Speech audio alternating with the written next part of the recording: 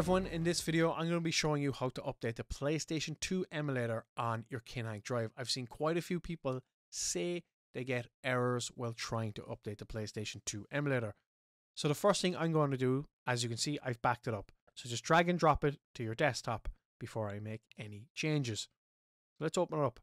My assumption is everybody's going to this, either one of two.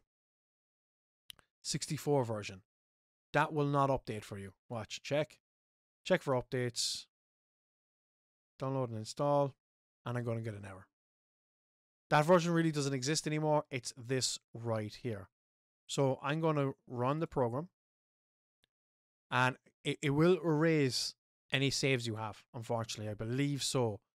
There is a way around it. I'll, I'll check it now in a second. I don't really have any saves, I'm going to be honest. Check for updates.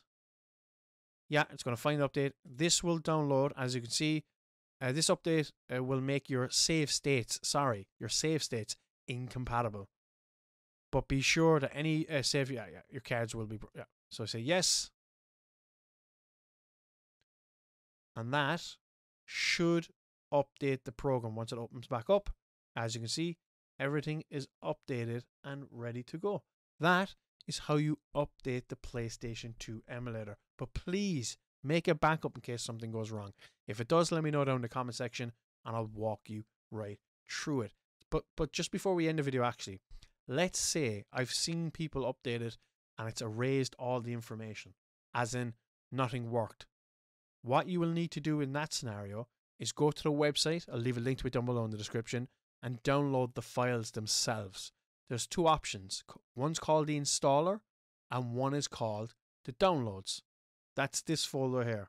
Open that up and I'll have all the files and that's just drag and drop it into the folder.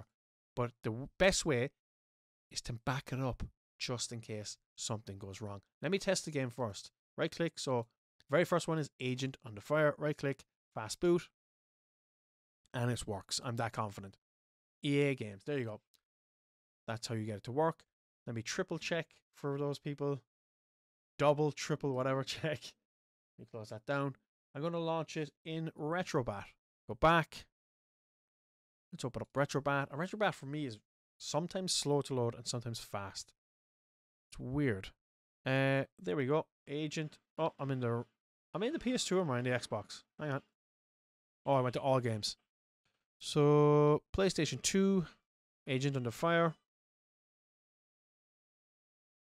And as you can see, it is working. Like I always say, have a hope you enjoyed the video and have a lovely day. Thanks for watching and thanks for everybody subscribing recently. Really appreciate it. See you in the next video.